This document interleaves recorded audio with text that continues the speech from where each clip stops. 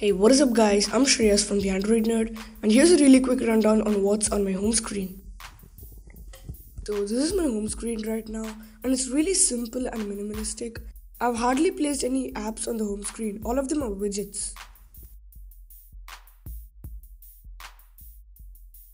And if you're wondering, I use Nova Launcher to create this setup.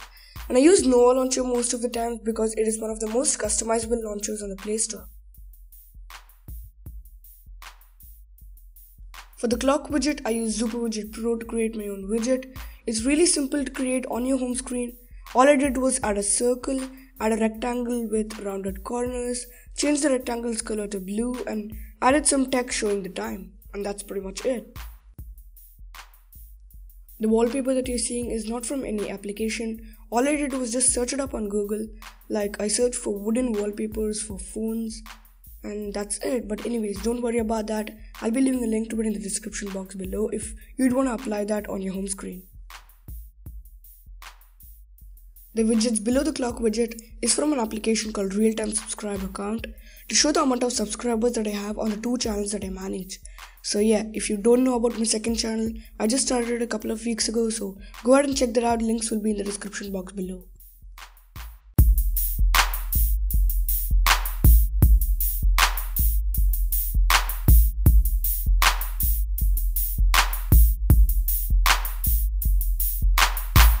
Below all those widgets, have five applications that I most frequently use, and they are WhatsApp, Instagram, Google+, Twitter, and Chrome.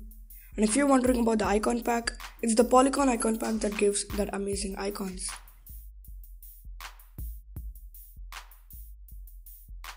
On the second page of my home screen, I have a calendar widget from an application called Month.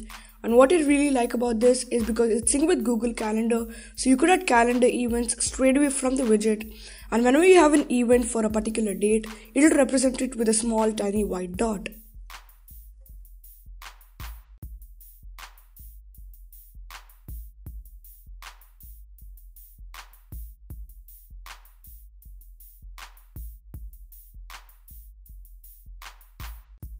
You could also customize between various themes for the widget from the month application. For my navigation bar, I've customized it to look like the ones found on Pixel phones with an application called Pixbar and it's paid in the Google Play Store just around $1. So it's really worth for the price. You don't need your device to be rooted for it. So guys, that wraps it up for me in this video. If you want me to make a video on how you could replicate it on your home screen, then do let me know in the comments below. And with that being said, I'm Shreyas and I'll see you guys in my next video.